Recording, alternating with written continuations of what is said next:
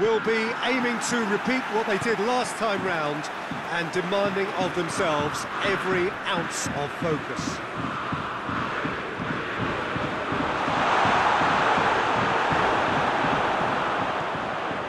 And we have in front... Header! Goal! It's hardly a surprise, is it? That's what we're here for, a player with this wonderful knack of being able to show up and deliver at important times.